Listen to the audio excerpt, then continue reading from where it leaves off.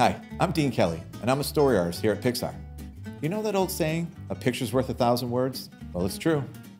Using simple visual cues, you can communicate all kinds of cool ideas and different emotions.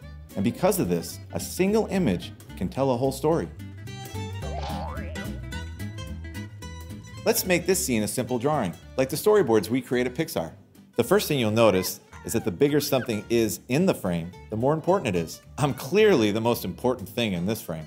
Choosing to put a character in a large space where they appear small is one way to communicate how vulnerable they are, or how big their world is. A low angle can make me seem commanding, or menacing. I now seem a little unbalanced.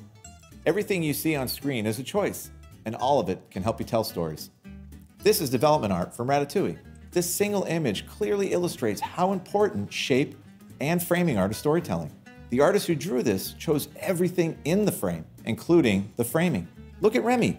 He's a tiny rat, but in this frame and from this perspective, he's the same size as the chefs. See how he's separated from the kitchen with these panes? He is literally being kept from his dreams of being a chef with these horizontal and vertical lines boxing him in.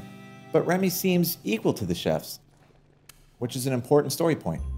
Shape also helps us tell stories. Take these three main characters from Monsters University. The artists who designed Mike, Sully, and Hardscrabble chose shapes that amplified and reflected their character. Mike is essentially a ball.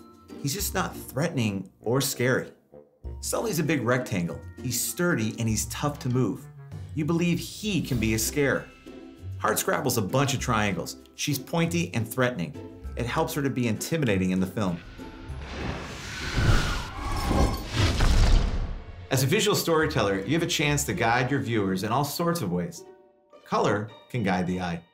Value, or how dark or light something is, can make it stand out from everything else in an image. In the movies, size and position in the frame also matter. They have an effect on how we feel about a character or a moment. In the Incredibles script, this scene was just two people arguing, but the story artist used Helen's stretching abilities, and Helen becomes the powerful one in this moment just by being larger than Bob, by stretching. But usually an artist will make a character closer and bigger in frame. In this storyboard I drew for Monsters University, you can see how I made Mike dominate the frame by putting him in the foreground close to camera. Mike is coming into his own as a scare coach, and I made him the biggest thing in frame because he's the strongest character in this moment, stronger than Sully. We can communicate so many things using only visual language. In these next lessons, you get to explore these ideas and use them to help tell your own stories.